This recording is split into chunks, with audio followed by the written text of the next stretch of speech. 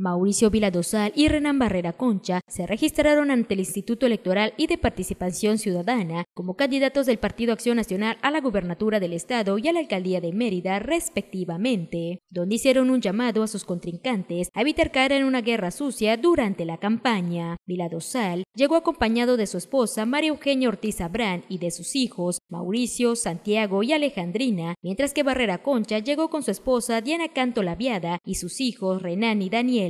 Manifestaron que realizarán una campaña limpia y llena de propuestas y anunciaron que el 21 de marzo rendirán protesta ante la dirigencia nacional los 106 candidatos del Blanquiazul. Al registro asistieron los presidentes del PAN estatal Edgar Ramírez Pech y municipal Mauricio Díaz Montalvo y la coordinadora general de Movimiento Ciudadano en Yucatán Silvia López Escofié, con imágenes de Daniel Ken e información de Merly Gómez. Notivisión.